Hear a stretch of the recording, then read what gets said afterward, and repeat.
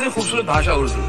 उर्दू तहजीब देती है, तमीज देती है। यकीन मानिए, इस हिंदी मंच पे जब कितना कितनी खूबसूरत भाषा आप जिस तरह से बात करते हैं, आप आपको उर्दू बे पढ़े लिखे को ऐसा जताती है जैसे कोई बहुत पढ़ा लिखा हो। दो लफ्ज अगर आप ढंग के बोलते हैं तो क्या बात है? और हम लोग जब बात कर रहे थे उर्दू में मैं मुगल आज़म देख रहा था पिछले दिनों।